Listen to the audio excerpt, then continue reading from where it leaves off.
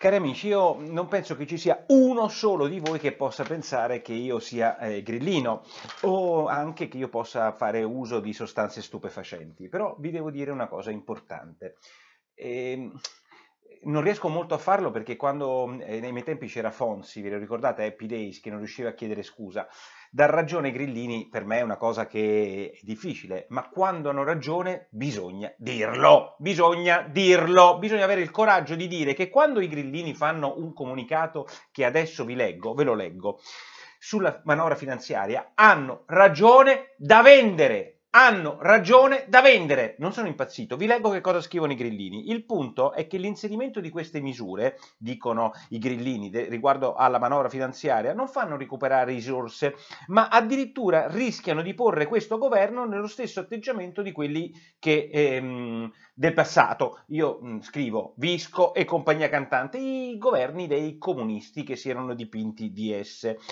Quando si cerca di fare la lotta all'evasione mettendo nel mirino commercianti, professionisti e imprenditori. Lo devo sentir dire? Non dai moderati, ma dal Movimento 5 Stelle un segnale, questo scrive oggi il comunicato del Movimento 5 Stelle, un segnale culturale devastante, se a maggior ragione nel governo stiamo ancora cercando l'intesa sul carcere e la confisca dei beni, che è una minchiata come la vogliono fare, ma il punto fondamentale è il segnale culturale. Sentite che riescono a dire, la flat tax per le partite sotto 65.000 euro l'abbiamo introdotta noi lo scorso anno, vabbè, la Lega, non loro, perché è una misura che aiuta aiuta i giovani professionisti e non solo, aggiungo io. Colpire 2 milioni di giovani professionisti per far finanziare altri provvedimenti significa alimentare una guerra tra poveri. Noi non ci stiamo, sembra uno scalfaro, e pensiamo che se un giovane di un anno a questa parte ha diritto ad avere il 15% di tassazione, è giusto che questo diritto lo mantenga, con l'obiettivo di poter pianificare il proprio futuro. E continua il Movimento 5 Stelle, lo Stato non può cambiare le regole improvvisamente da un momento all'altro, da anno in anno.